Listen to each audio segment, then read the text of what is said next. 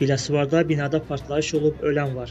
Kanal 10 TV reporta istinadən xəbər verir ki, hadisə Heydər Əliyev prospektində yerləşən 5 mərtəbəli binada Nazilə Məmmədovaya məxsus mənzildə baş verib.